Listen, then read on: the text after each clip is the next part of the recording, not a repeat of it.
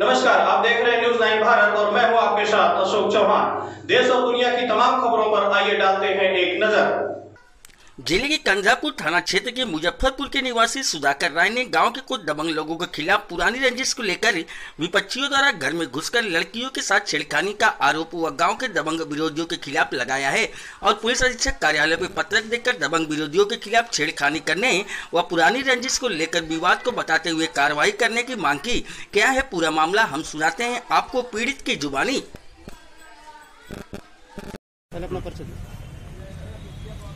परिचय दीजिए अपना जी नाम सुधाकर राय पिता का नाम गोरख राय ग्राम मुजफ्फरपुर थाना जनपद आज क्या मामला आप यहाँ एस पी मामला है कि ये घटना तीन तारीख को है।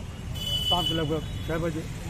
मैं मेरी पत्नी बाज़ार आए थे मार्केट करने के लिए। पाँच वर्ष शहर में मेरी लड़की अकेली थी।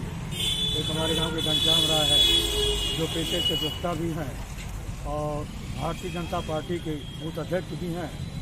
और एक यहाँ क्षेत्रीय मंत्री हैं गोरखपुर क्षेत्र उनका पड़ता है नाम है सजानंद राय उनके करीबी भी, आए मन चले हैं वो लड़की को अकेले कमरे में पाकर छड़खानी किए उठा के पटक दिए और पटकने के बाद इसके पेट और छाती पर चढ़ गए इसका कपड़ा वपड़ा फाड़ दिए बलात्कार की नीयत से फिर हमने फ़ोन किया पुलिस आई कपड़ा फटा हुआ देखी मायना करवाए। इसके बाद हमने तहरीर कर लेकर गया।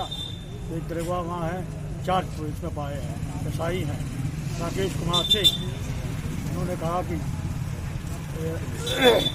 इसका नाम थाना है साले, और थाने से बच जाओ, बहुत बड़ी वाले नहीं जा रहे हो कि नेताओं का मामला है और इससे एफ़ दर्ज करेंगे, हम लोग देंगे इसलिए आज हमने कप्तान साहब को दिया चर्चा कर रहा हूँ। क्या आश्वासन मिला है? अधिकारी से क्या आश्वासन मिला है? आश्वासन तो नहीं क्या नाम आपको? क्या मामला आज आज एस पी साहब क्या हैं? मैं शाम को छः बजे और नीचे वाले रूम में बैठी थी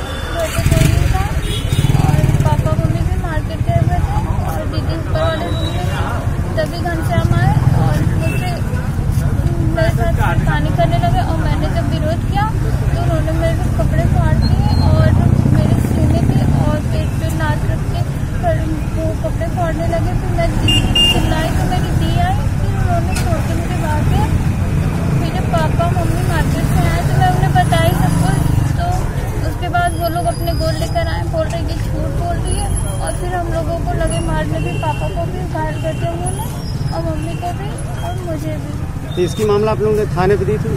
हाँ दी थी बट उन्होंने कोई कार्रवाई नहीं की। क्या चाहती हैं आप? हम बस यही